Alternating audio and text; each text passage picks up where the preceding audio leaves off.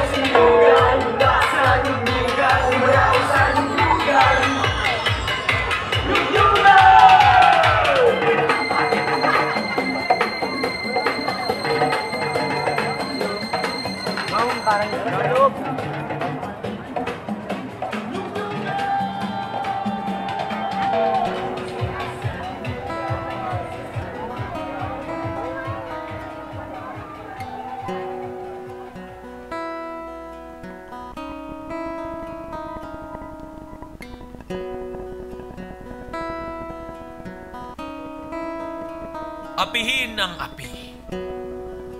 Biyakin tulad ng bao ang kanilang hanay.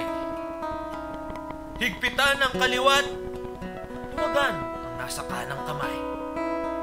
Mas magaling kung pipiliin ang mura sa magulang.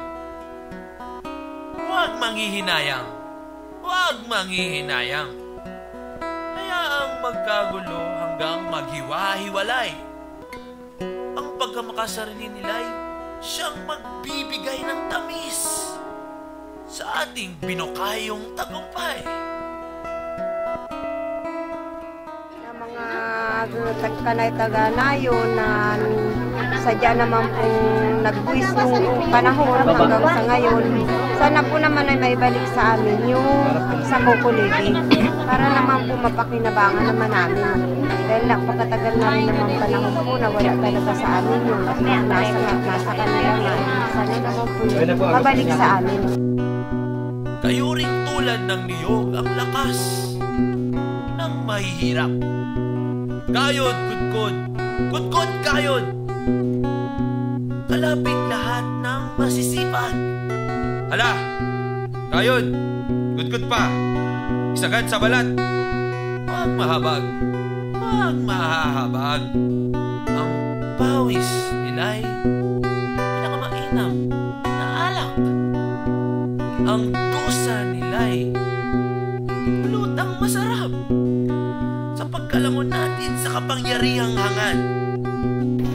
Talaga naman. Kami ay kiling antay nga. Na oras at makatanggap ay wala. Nagkasakasakit na nga ang tao sa paghihirap. Bago ngayon ay hindi. Aapi na asa sa mahihirap. Maigi siyang mayaman. Ay ako, wala.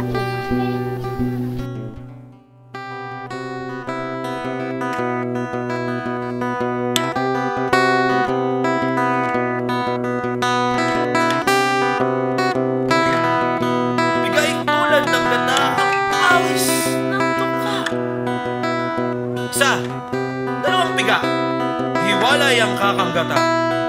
Umali tatlo, apat, hanggang kumataas ang luha. Huwag maawa, huwag maaawa. Ang pinagpaguran nila'y siya nating tuwa.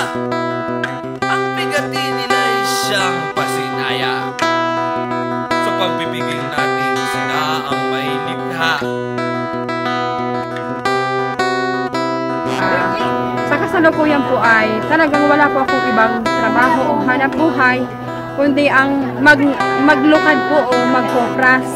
Ah, nakikiusap po ako sa inyo sa lahat ng kinauukulan. Na kung pwede naman po sana, maawa naman po kayo sa amin. Ang hirap-hirap naman po talaga na dinadanas po namin sa pagkukopras, sa panghiniyong. Bago po namin ito ma-ibenta, ang dami po ng proseso nakikiusap naman po ako, kaming lahat, na kung pwede naman po, yung pondo na para sa amin talaga po dapat mapunta ay sana naman po pakiusap. Ibigay naman po sana ninyo sa amin para naman po mapakinabangan po namin. Yun lamang po at maraming maraming salamat po sa iyo, sa inyo lahat.